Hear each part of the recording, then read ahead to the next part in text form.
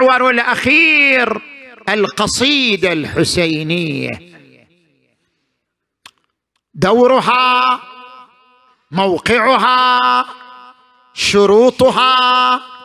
خل بالك وياي لهذا المحور الأخير لأن هو المهم. القصيدة الحسينية ما هو دورها؟ التاريخي. إن القصيدة الحسينية منذ أيام ذي الرمة اللي أنشد أمرر على جدث الحسين. ومنذ أيام أبي هارون المكفوف الذي كان ينشد الشعر للإمام الصادق. ومنذ أيام دعبل الخزاعي الذي أنشد عند الإمام الرضا عليهم السلام إلى أيامنا هذه. القصيدة الحسينية حفظت تاريخ الطف ومصائبه ومبادئه فكانت مصداقا جليا لما ورد عن الإمام الصادق عليه السلام أحيوا أمرنا. حيث حفظت تاريخ الطف عقيدة وتاريخا ومبادئا.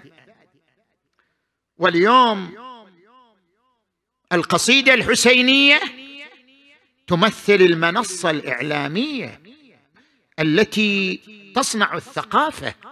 اليوم اللطمية الحسينية اللي يسمعها الجمهور أصبحت هي المنصة الإعلامية. اللطمية اليوم هي المنصة الإعلامية التي تصنع الثقافة الحسينية للجماهير المتنوعة والأجيال الصاعدة. وتأثير اللطمية اليوم أعظم من تأثير محاضرات الوائلي.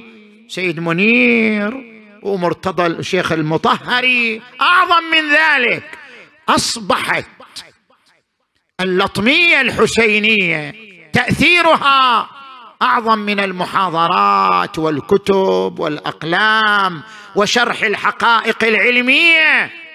وكل ذلك بفضل الشعراء الذين أبدعوا في مجال تصوير تاريخ الحسين عليه السلام.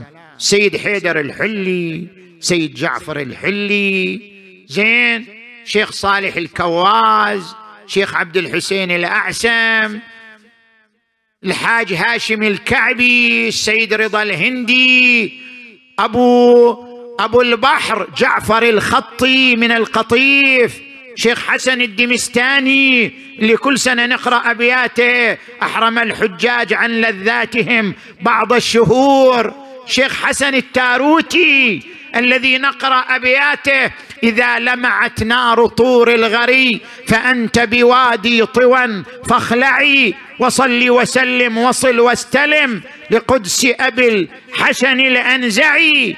هذا الشعر الرائع العظيم الخالد الذي حفظ لنا صورة كربلاء.